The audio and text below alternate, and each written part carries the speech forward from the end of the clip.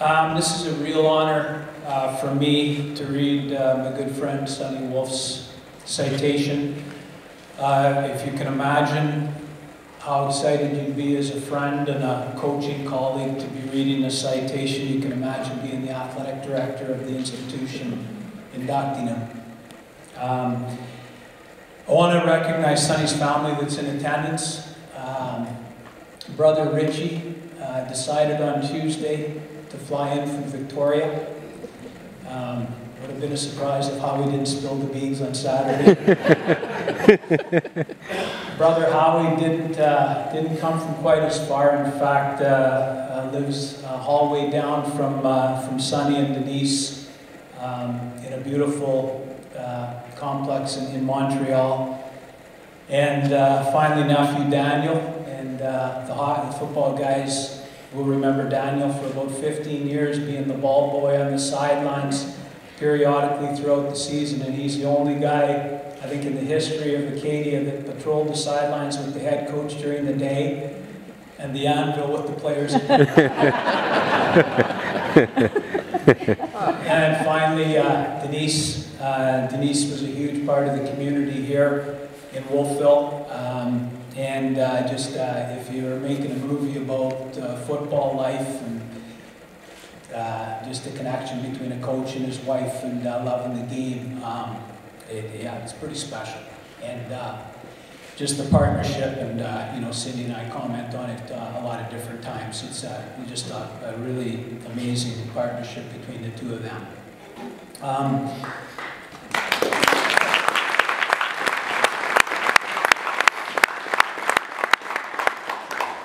Uh, we've stayed close as family since we left Acadia. Um, this summer, though, we had a chance, and we've been together a lot of times since then, but this summer we had a chance to spend a week with Sonny and Denise in Montreal. Um, and uh, it's pretty cool when after a week you don't really want to leave and you don't get a sense they want to kick you out of their house. And nothing really changed. You just pick up where you left off. And uh, uh, I've only probably in my life felt the need to do one or two, three toasts ever. And we went for dinner the last night that we were together. And I just wanted to, uh, I just wanted to uh, uh, let Sonny and Denise know that uh, if it wasn't for them, we probably don't end up at Acadia in the first place. And the, the first night that I spent a full day here, desperately needing to get this job, as the head coach of the hockey team. Uh, I was with them, and it was like so many nights. It, who would have known? Uh, it started early in the evening and went to all hours of the night. And uh, I know the next day I phoned back to Cindy and said, you know, I met two really great people, and you know, I, I think you and Denise are going to be friends. And uh, if I get the job, and Sonny and I joke and just now say, if our, if our wives would just get along a little better, maybe we'd be friends. But I did say at the end of that toast that the best part about coaching over the years, and I know we've moved a lot and that type of thing, is you meet so many new people, uh, and uh, right at the top of the list would be Sonny and Denise. So, Sonny, before I read your citation, uh, you're a, a, really special friend. Uh, you're one of the nicest and best people. I thought Bernsey actually said it the best. Uh, that, that, so many people have ever met. I know for Cindy and I, we just talk about it privately that uh, you're really, really something. Um, you're, you're more importantly a true role model, and when you think of a role model, it's having an impact on other people. And uh, there are a lot of people here at Acadia. I see Jeff Cummins up here and, and Bernsey talking before, but so many people in our department, Sedzi, people like that, that, that have learned so much from you, the players before, obviously. And this week has been kind of like, it's kind of like the Mariano Rivera farewell tour, you see, but you've been back here and just in a short period of time. You see the impact you've had on so many people because you just can't get away from people. Um, but there are more people than you saw this weekend. But this means so much to get back here to be inducted in the Hall of Fame. So I want to read your citation. Um, most people spend their lives trying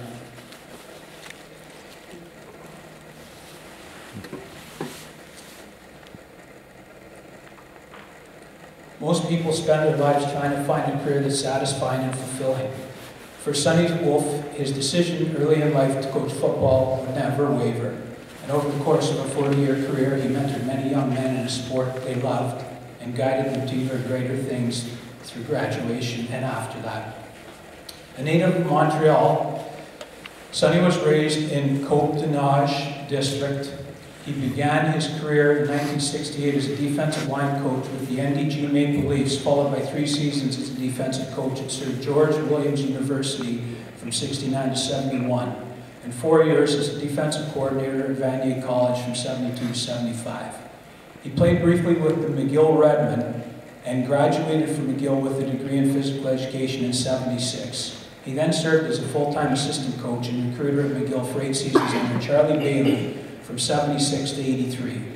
A coach that would never be outworked by a rival school, Sonny instilled in his assistants a work ethic that would lead to their success. When asked who he considered a mentor in his early years, Sonny referred to his relationship with Bailey. Acadia Athletic Director Kevin Dickie was a colleague of Sonny's from 97 to 2000 when Dickie was the head coach at the Hockey Axemen.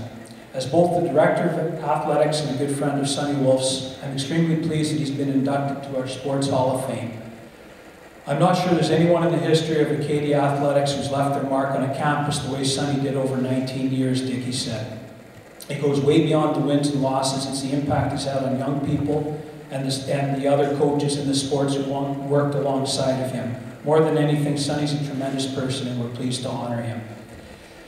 Sonny Wolfe completed his 24th and final season as, the, as a CIS head coach in 2011 after five years at McGill, capping a 19, after capping a 19-year career at Acadia, during which he and his wife Denise became an integral part of the local community. He won three AUS championships at Acadia, 84, 95, and 98, and his 24 seasons as a head coach tied him with the legendary Gino Fracas for the seventh highest career total in the CFL history, CIS history. He has a career record of 83-94 in, in regular season competition and developed more than 20 players who went on to pro careers in the CFL. Following his retirement from CFL football, Wolfe was honored by the, CI, the CIS Sport in June 2003.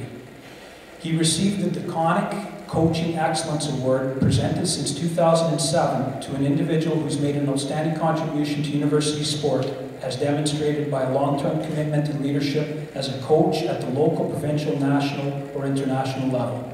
Hardly surprising, Sonny, through retirement, isn't really a part of his plan. His passion for shaping the futures of young people today has taken him back to the high school level, level where he now coaches a team in Montreal. The Acadia Sport Hall of Fame is pleased to induct Sonny in the builder category, an outstanding coach and valued mentor to countless student athletes, Sonny Wolfe.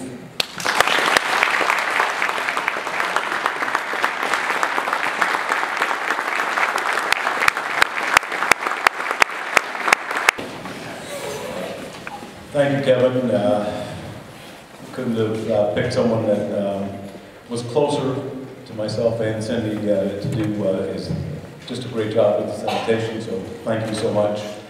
Uh, congratulations to uh, my fellow inductees, and um, I want to thank uh, deeply, uh, sincerely, the selection committee, the university. I'm humbled and, and very fortunate to be standing here this evening in, in front of you. I want to go through a, a bit of history here. Uh, I was interviewed for the position um, in, in, 1984 and uh, uh, decided that uh, when offered the position that we'd come here for three years, uh, leave Montreal, and three years became 19 real, real quickly. It's amazing, the community here, the friends that we've made, the relationships, uh, we're back here. Uh, my wife was able to fly out a little prior to myself, and uh, just walking around the, the town uh, this morning, uh, while there are some cosmetic changes, it's the same magical place that I came to in 84 that uh, gave myself and, and Denise just an incredible, an incredible trip, and I have to thank so many people, start with talking about uh, having been as fortunate uh, as any coach to have coached a, a, just an incredible group of young men. Um, I, I would say that I coached uh, through the 19 years here mainly very good football teams, some great football teams, some excellent football teams. But what I'm most proud of relative to what we did on the field, I can't remember very many games where I'd go home and feel like the young men that, um, that I coached and we coached didn't give everything that they had. And they can't ask for anything more than that as a coach. And uh, I always felt, season every season, that our kids went out and gave as much as we had. We'd love to have maybe one more tackle here or there, perhaps one less pass interference call and those kinds of things. But over a career, uh, you start, all, all that matters is winning. And uh, can remember uh, Charlie Bailey, who I coached with for a bunch of years. He was the head coach at McGill when I was an assistant. We were co-assistant coaches at St. George.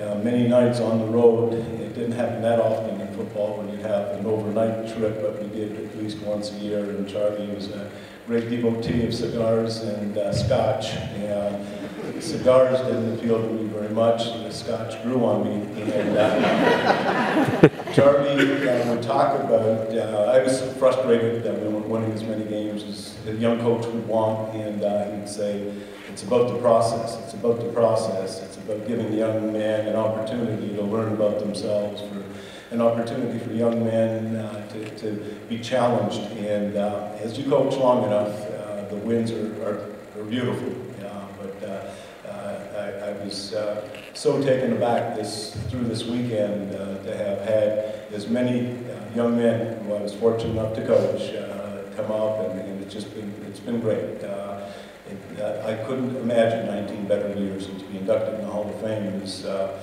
it's, it's terrific. Uh, yesterday, Kevin toured uh, myself and my brothers around the facility, and the uh, improvements are, are dramatic, and, and it's exciting to see. I took a, a look at the uh, folks in the builder, uh, in, in the builder category, and uh, uh, boy, there's a, a select group of outstanding leaders, and uh, uh, to be considered uh, to join that group again is humbling, and uh, I want to thank those people who uh, were a part of the selection committee, and certainly want to thank Acadia, uh, Wolfville, uh, the community. Uh, it's, it's just been terrific, so thanks so much.